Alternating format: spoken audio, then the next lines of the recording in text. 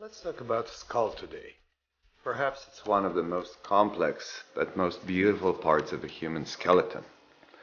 The skull is composed of multiple bones and in this video we're going to present the skull in general with names of all the bones that are forming it, dividing it first into bones of the cranial skeleton, and then saying a couple of words about bones that form the facial skeleton.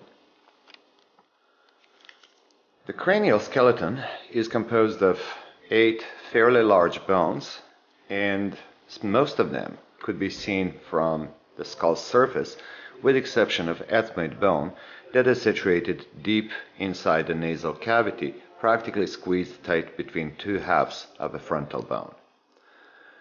The cranium itself is composed of the following bones. Let's remove the mandible so it will be easier for me to handle the skull, starting with the forehead, which is composed of a single bone that is called the frontal bone. Earlier, during the fetal development, frontal bone develops from two halves. However, the suture between two halves closes quite early, and that's why on most of the adult skulls it is not even noticeable as a trace of a suture which used to be there. Further posterior to the frontal bone, we will find left and right parietal bones. I love to see the parietal bones from the above. This is the left-sided, this is the right-sided parietal bone, because only from this superior view one can notice that there is pretty much a nice and quite massive enlargement within parietal bones. This is essentially what accounts for biparietal diameter, which is measured on the fetal head, determining whether the birth could be happening naturally or there is a need for eventual inducing the C-section because there is discrepancy between size of the infant's head and the size of maternal birth canal. Those prominent spots on the parietal bones are called tubers of the parietal bone, and they actually recognize as the center where the primary ossification of the bone started happening. Left and right parietal bones are united with each other using this quite complex and quite intriguing connection between two bones, which is known as the sagittal suture and then in turn, left and right parietal bones will also connect through the suture to the frontal bone. However, at this time the suture is called the coronary suture or frontal suture. At the intersection between coronary and sagittal suture, in early infancy, we would have a little bit of a residual fibrous connective tissue, practically being size 2 by 2 centimeters, and that residual of connective tissue is known as the greater fontanelle. It is slowly shrinking in size, and around first birthday, it is expected to fully close and therefore would not be possible to explore it through palpation.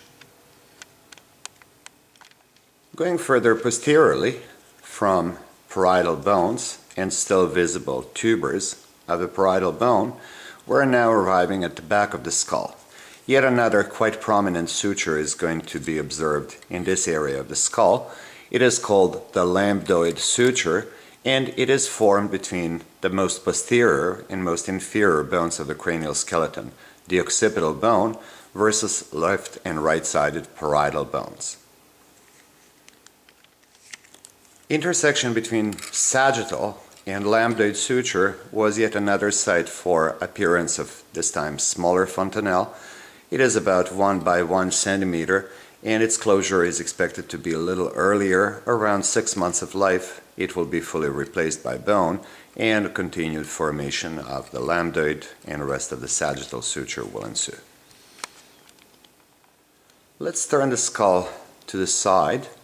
So on the top of these four bones that we previously encountered, now we can see the lateral aspect of the skull.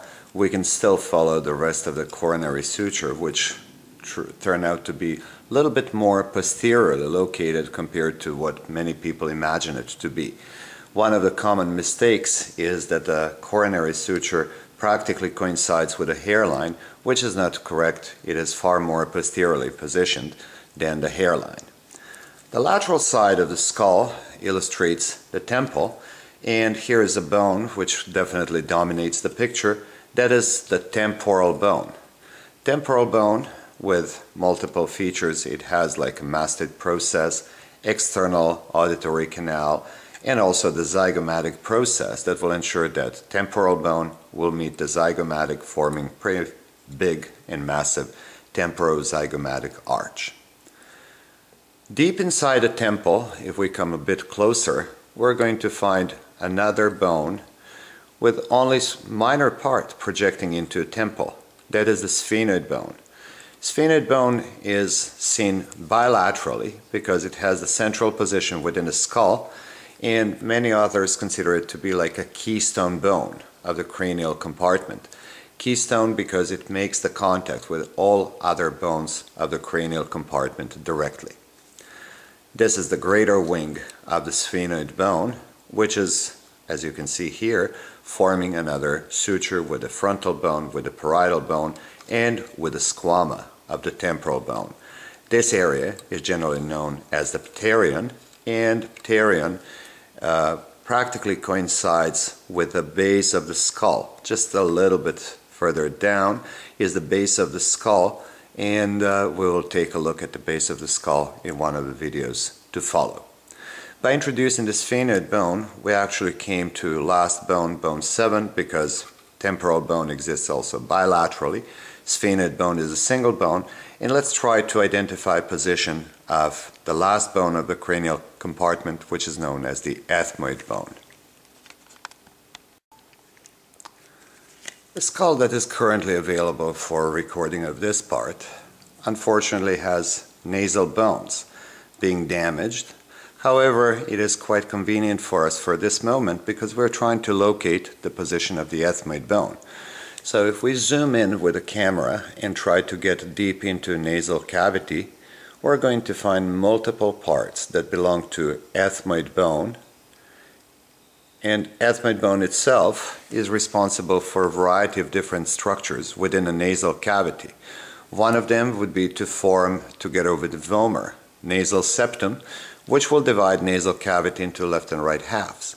Also, its large projections, known as the superior and middle nasal conchae, or turbinates, will also create a bit of extra ridges and crests within the nasal cavity, forcing air as it moves through to actually take a little bit more turbulent run than to move in a straightforward linear direction. So with the zoom, we can see here deep inside the nasal cavity parts of the ethmoid bone. And it is, as you can see, very close to both orbits, left and right. And it has been very neatly housed between left and right halves of the frontal bone. On a different skull, which has the skull cap removed, we would be able to see a little bit more of the ethmoid bone, and we'll use a different skull for presentation of ethmoid by itself.